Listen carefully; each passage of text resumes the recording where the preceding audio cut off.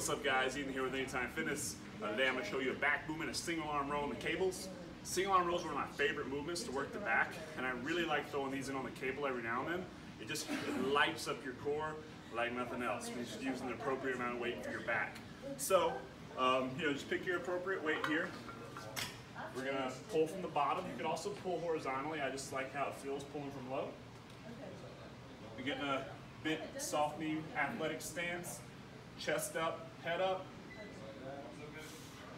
I'm fighting that rotation all the way through the movement.